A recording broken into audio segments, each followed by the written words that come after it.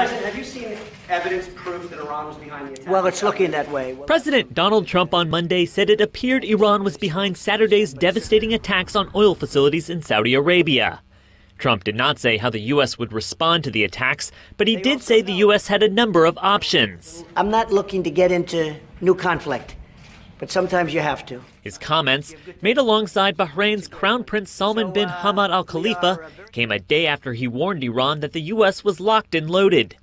Earlier on Monday, Trump on Twitter referenced Iran's shooting down of a U.S. drone earlier this summer that Tehran said was in its airspace.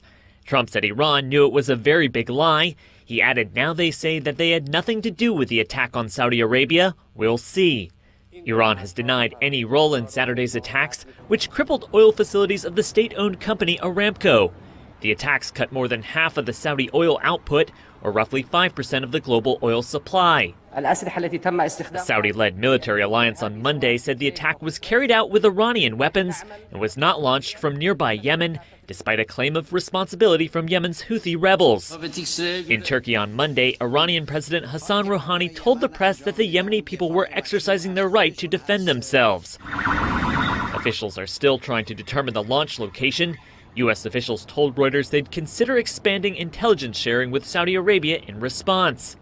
The attacks on Saudi Arabia triggered the biggest jump in oil prices in almost 30 years, as it stokes fears of a regional conflict led by arch foes Saudi Arabia and Iran.